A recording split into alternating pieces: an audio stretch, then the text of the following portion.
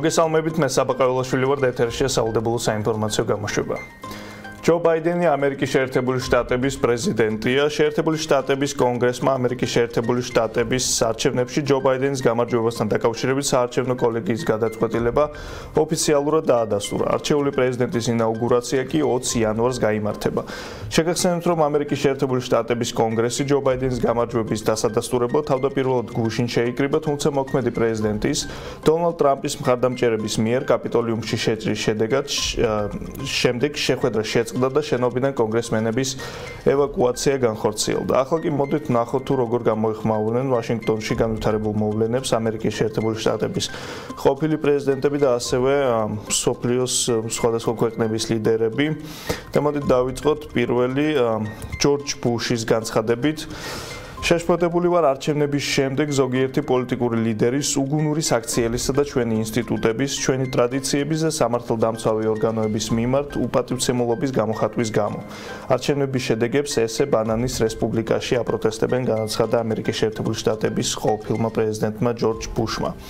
შემდეგი კი წინა პრეზიდენტი ბარაკ ობამას განცხადება ისტორია კაპიტოლიუმში მომხდარ ძალადობას, რომელსაც პრეზიდენტი კანონიერი არჩევნების შედეგებზე უსაფუძვლო ტყუილი თაქეზებდა, სამართლიანად დაიმახსოვრებს როგორც ჩვენი ქვეყნისთვის დიდი სირცხვილისა და სახელის გატეხვის მომენტს. განცხადა ბარაკ ობამამ. შემდეგი არის ბორის ჯონსონი, დიდი ბრიტანეთის პრემიერ-მინისტრი. ყველა ხედავთ იმას, რასაც მე. ჩვენი დემოკრატია უპრეცედენტო თავდასხმის ქვეშა. ესეთი არაფერი გვინახავს თანამედროვე სამარცხინო სცენა განაცხადა ბორის ჯონსონმა და ბოლო განცხადება არის გერმანიის კანცლერის ანგელა მერკელის განცხადება.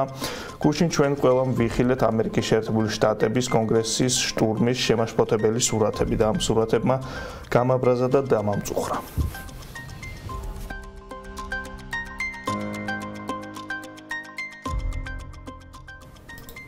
ეხლა კი რა ხდება ჩვენ საპატრიარქოში? საქართველოს საპატრიარქოს ამ დრომდე არ გამოუქვეყნებია მილია მეორის კათოლიკოს პატრიარქის სილია მეორის ტრადიციული საშობაო ეპისტოლე. საშობაო ეპისტოლეს გამოქვეყნების დაყოვნების მსგავსი მსგავს პრეცედენტს ვერ იხსენებენ საეკლესიო მიმომხილველებიც დღეს ასევე ცნობილი გახდა რომ ილია მეორის მდივან რეფერენს შორინა თეთრუაშვილს კორონავირუსი დაუდასტურდა 4 იანვარს კი შორინა თეთრუაშვილი პატრიარქის დაბადების დღეზე მასთან მცირე დისტანციაზე იმყოფებოდა მაგრამ მოგვიანებით საქართველოს საპატრიარქოს პრეს-სპიკერმა დეკანოზმა ანდრია ჯაღმაიძემ განცხადა რომ შეცდა და არზუსტი ინფორმაცია მიაწოდა მედიებს თეთრუაშვილის შესახებ რადგანაც ტესტის ოფიციალური პასუხი ჯერ არ ყოფილა.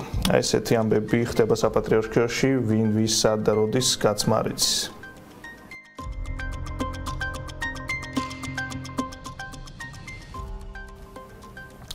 აი სულ ეს იყო დღეისთვის მე მხოლოდ გემშვიდობებით თვალყური გვადევნეთ კაცმარიც რა იქნება